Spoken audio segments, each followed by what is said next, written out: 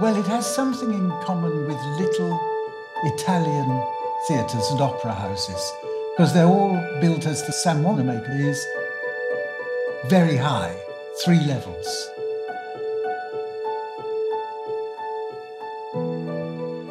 As soon as you go in there, you know this is no ordinary concert. Well, this is living history. The really remarkable thing about the theatre is that the audience are right there. They're so close, it's so intimate, that they become part of the actual performance. Another aspect of this performing space, of course, is the candlelight. This gives very special quality of stillness, and that seems to me to bring the audience even closer.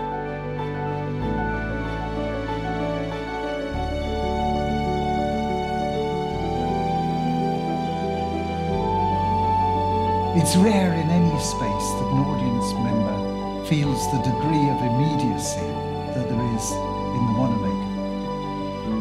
But I also come back to that business of the candlelight because it takes us right away from our modern world, and that gives an extraordinary quality.